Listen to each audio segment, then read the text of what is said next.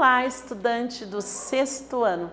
Neste vídeo falaremos sobre os espaços cênicos do teatro, o teatro na antiguidade clássica.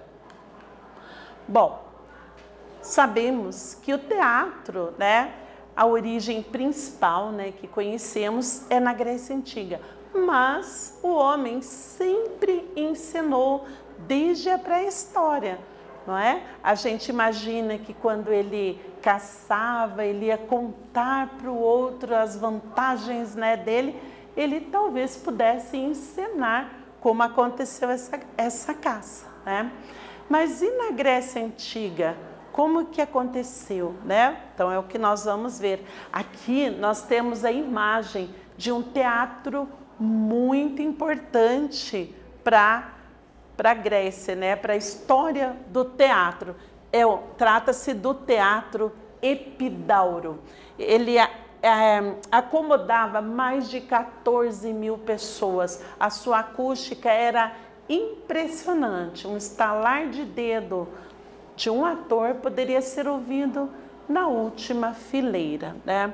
Observe né, que ele tem esse formato, normalmente eles eram construídos na encosta né, de uma montanha, então eles acabavam pegando o formato daquela montanha. Aqui as máscaras, né, que eram muito utilizadas no teatro grego. Era um dos recursos, né, para amplificar a voz do ator, que ficava minúsculo, né, dentro de um espaço daquele. Nós temos aqui é, duas representações, né? Uma parece assustada e a outra parece mais alegre, né? São os símbolos né, do teatro. A gente verá em outra oportunidade a tragédia e a comédia.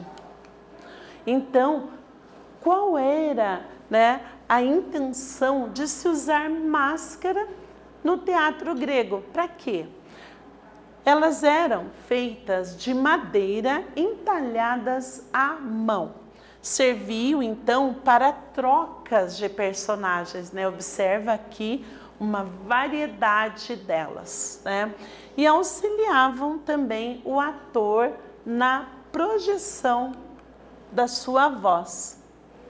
Como eu disse, o teatro lá na Grécia, né, o início do teatro na Grécia, ele aconteceu com encenações e, no caso, ao deus Dionísio. As pessoas agradeciam, né, pela colheita das uvas. Então Dionísio era o deus do vinho e das uvas e, consequentemente, acabou sendo o Deus do teatro também.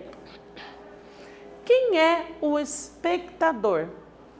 Que eu falei do espaço, né, cênico, falei do ator, né?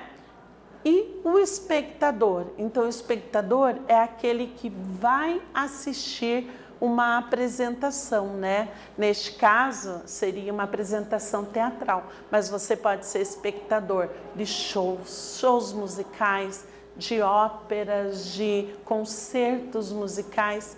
Aí você depende do seu gosto e da sua escolha.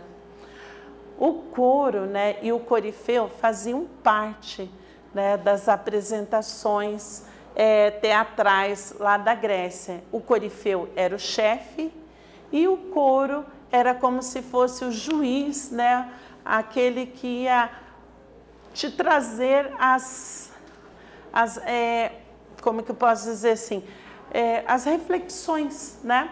Então, o coro né, era uma conversa entre o corifeu né, e, o, e o coro, tá? Então, o que acontecia ali.